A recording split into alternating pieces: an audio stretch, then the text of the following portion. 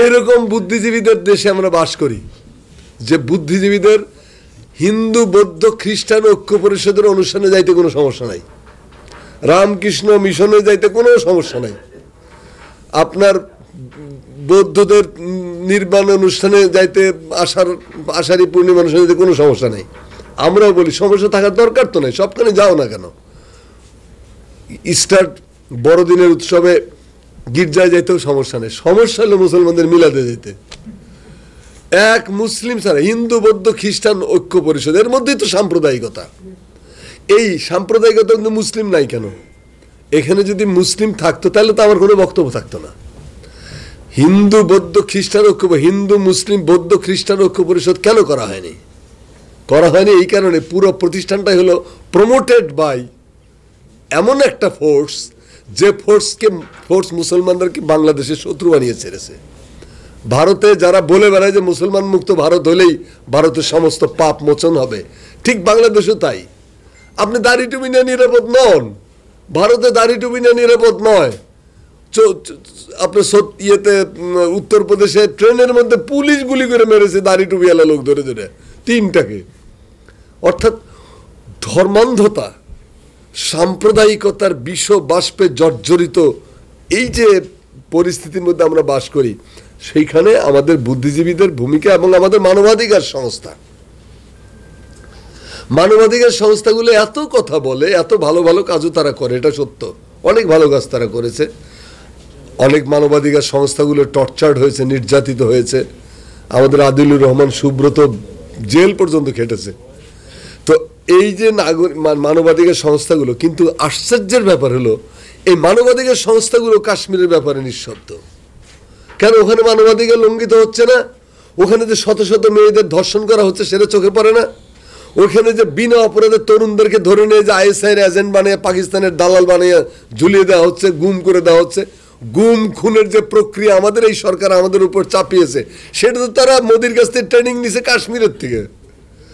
কাশ্মীরে এই প্রক্রিয়াটাই করা হয়েছে। একটা ভালো ছেলে ভালো রেজাল্ট করছে, তাকে গুম করে দাও। একটা ছেলে স্বাধীনতার জন্য কথা বলতে তাকে গুম করে দাও। খুন করো, অথবা জিলাম নদীর পানিতে তার লাশ ভেসে উঠল একদিন। গুম, খুন, হত্যা, ধর্ষণ, নির্যাতন, হিটলারের চাইতো নৃশংস পদ্ধতিতে কাশ্মীরের জনগণের ওপর এই নির্যাতন চালিয়েছে এই সরকার, বা ভারতের নরেন্দ্র মোদীর সরকার। দেখেন যে হিন্দুত্ববাদীদের আঘাতে যে কাশ্মীর শুধু জ্বলছে তা কিন্তু না। আজকে মণিপুরে কি হচ্ছে? শত শত লোকের সামনে দিয়ে পুলিশ দুটা মেয়েকে উদ্ধার করছে, তার বাবা, মা, বাবা, ভাই, সবাইকে হত্যা করা হয়েছে। দুইটা মেয়েকে ধরছে পুলিশ উদ্ধার করছে পুলিশ। পুলিশ এসে এই মেয়ে দুটোকে উন্মত্ত জনতার কাছে ছেড়ে দিয়েছে। এই উন্মত্ত জনতা মেয়ে দুটিকে ন্যাংটা করে, উলঙ্গ করে, বস্ত্রহীন করে রাস্তায় প্যারেড করিয়ে তারপরে ধান ক্ষেতের মধ্যে নিয়ে ধর্ষণ করেছে। এইটার নাম মানবতা। এইটার নাম সভ্যতা। এই এই, এইটার জন্য কি পৃথিবীতে মানুষ যুগে যুগে মানবতার কথা বলেছে, স্বাধীনতার স্বপ্ন দেখেছে? মণিপুর জ্বলছে। মণিপুরের কুকিদের উপর নির্যাতন চলছে, কারণ কুকিরা হিন্দুত্ববাদী না। কুকিরা খ্রিস্টান। ভারতের দলিতদেরকে আজকে ঘোড়ায় চললে পর্যন্ত মৃত্যু মেরে ফেলানো হচ্ছে। যে দলিত নমশূদ্র এরা ঘোড়ায় চড়বে কেন? ঘোড়ায় চলে মেরে ফেলানো হচ্ছে। গরুর গোস্ত বহন করছে কিনা প্রমাণও হয় নাই। তার আগে তারে পিটিয়ে মেরে ফেলানো হচ্ছে। একটা ভয়াবহ রকমের আপনার ধং- কসাইখানায় পরিণত হয়েছে আজকের ইন্ডিয়া। কিন্তু তাই বলে কি ইন্ডিয়াতে ভালো মানুষ নাই? অবশ্যই আছে। ইন্ডিয়া থেকে রাহুল গান্ধী নাই। ইন্ডিয়াতে কি মমতা ব্যানার্জি নাই। ইন্ডিয়া থেকে অরুন্ধতী রায় নাই ইন্ডিয়া থেকে কি ওয়াইসি নাই আছে তো তারা কাজ করতেছে আমাদের কাজ হবে এই যে স্বাধীন অরুন্ধতী রায় স্বাধীনতার কাশ্মীরের স্বাধীনতার পক্ষে অরুন্ধতী রায় এবং অঞ্জলি মুখার্জি যে ভাষায় বই লিখেছে আমার কাছে সে বইটা আমি নিয়ে আসতে চেয়েছিলাম ভুলে গেলাম। সেই ভাষায় বাংলাদেশের বুদ্ধিজীবীরা লিখলে তিনবার অজ্ঞান হয়ে যাবে। ভারতের মাটিতে থেকে আপনার প্রবীর ঘোষ নামে একজন লোক, তিনি ওই জনবিজ্ঞান নিয়ে কাজ করেন। লৌকিক নয়, অলৌকিক নয়, কোনো কিছুই অলৌকিক নয়, সবই লৌকিক, এরকম কাজ নিয়ে তিনি করেন। তিনি তার যে বইটা পড়লাম, সেটা পড়ে আমি সত্যি শিহরিত হলাম যে ভারতের মধ্যে এরকম মানবতাবাদী মানুষ আছে যারা কাশ্মীরের আজাদিকে সমর্থন করে প্রকাশ্যে। পল্লব কীর্তনিয়া আমি একজন সিঙ্গারের গান শুনলাম। তার নাম হলো পল্লব কীর্তনিয়া। কাশ্মীর নিয়ে গান গেয়েছে এবং কাশ্মীরের নির্যাতন হচ্ছে, খুন করা হচ্ছে ধর্ষণ এগুলো গানের মধ্যে বলছে। এবং কাশ্মীরের সমাধানের কথা সে তার গানে বলছে যে, কাশ্মীরের আজাদির লড়াইকে আমরা সমর্থন করি। হে মানুষ, কাশ্মীরের আজাদির স্বাধীনতার সংগ্রামের পক্ষে দাঁড়িয়ে যাও। বাংলাদেশের কোনো সিঙ্গারের মুরাদ আছে? আমি সবার প্রতি শ্রদ্ধা রেখে কথা বলছি যে এইভাবে গান গেয়ে রাস্তায় করে ফারাক্কাবাদ নিয়ে একটা গান আছে আমাদের বড় এই শিল্পীদের। বিরাট বিরাট শিল্পী নামে ডাকে গগন ফাটে ফারাক্কা নিয়ে দেখেন, একটা ভালো উপন্যাস লেখা হয়নি। ওই যে ফররুক আহমদ আপনার সাতষট্টি, আটষট্টি সালে ফারাক্কা দেখে তখনই কবিতা লিখেছিলেন, শোনো মৃত্যুর তুর্যনীনাথ ফারাক্কাবাদ ফারাক্কাবাদ। যেটা মৃত্যুর তুর্যনীনাথ আমাদের, এই ফারাক্কাবাদ উড়িয়ে দাও। আছে? নাই। তাহলে দায়িত্ব জ্ঞানহীন আমরা একটা পৃথিবীতে এসে পড়ে গেছি।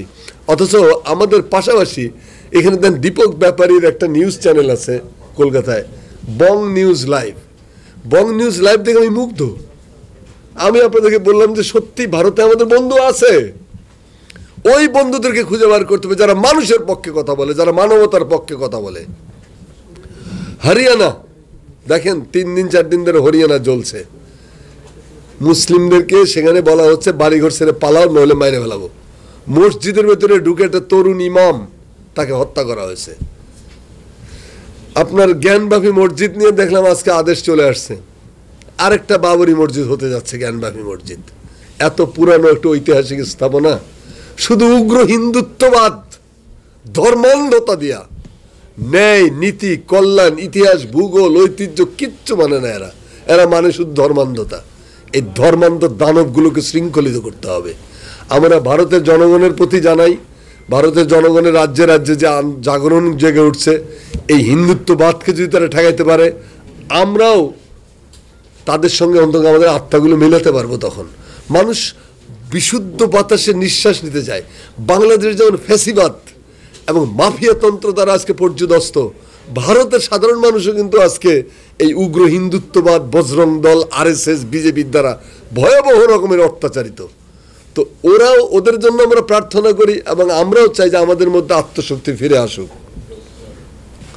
আমরা যদি আমাদের আত্মশক্তি, আত্মচেতনা ফিরিয়ে আনতে পারি, তাহলে কাশ্মীরের স্বাধীনতা সম্পক্ষে দাঁড়াতে আমাদের কোনো সমস্যা থাকবে না আর। বাংলাদেশের স্বাধীনতা সার্বভৌমত্বের নিজের স্বার্থেই, বাংলাদেশের স্বাধীনতা, সার্বভৌমত্ব রক্ষার স্বার্থেই, বাংলাদেশের নীতি, নৈতিকতা, আদর্শের স্বার্থেই পৃথিবীর সর্বত্র সব প্রতিটি স্বাধীনতা সংগ্রামকে আমাদের সমর্থন জানাতে হবে।